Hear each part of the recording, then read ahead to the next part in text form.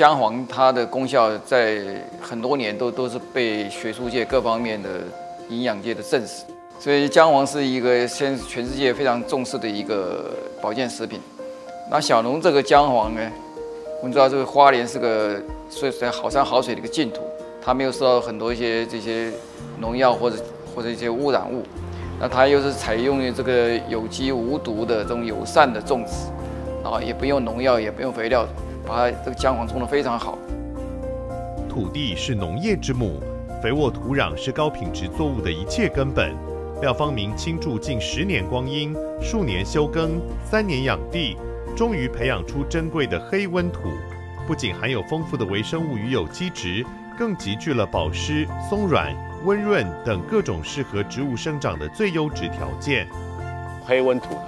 除了它是黑土之外，必须它还要温度的。它必须要微生物的，因为你微生物多，它就分解它的代谢物给植物吃，所以它们植物就可以长得很高又壮、很健康。土地它是活的，那你相不相信那个作物会是好的？